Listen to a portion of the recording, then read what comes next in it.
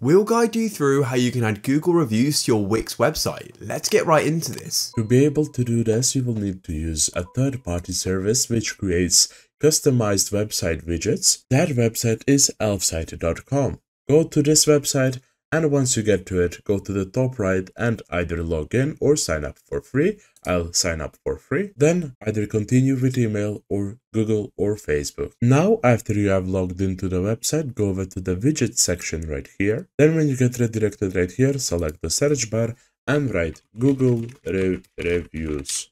Then press the enter button Select this option right here. Then select the template that you want to use. You can use any of these that you see right here.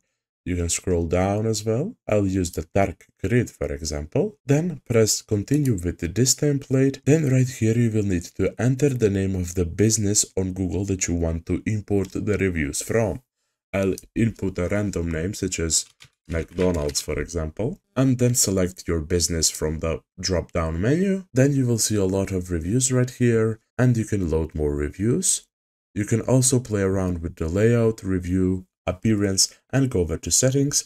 Once you have sorted all of those things, you can also add filters and sort, then press add to website once you're done with everything.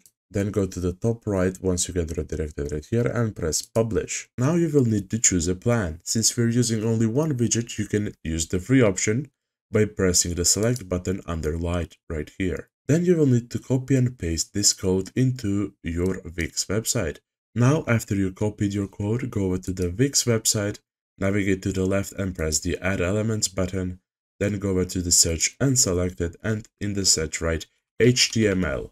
Then press the Enter button, select Embeds right here, and then on Popular Embeds select Embed HTML.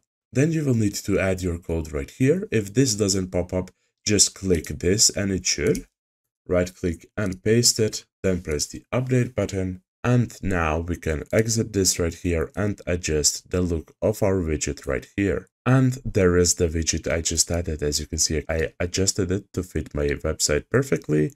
Then you can go to the top right and press the publish button and it will be available on your website. Now I am on my website and here is the widget I just added. As you can see, it's completely working. I can even load more. That is it for this video. Thank you for watching. See you in the next one.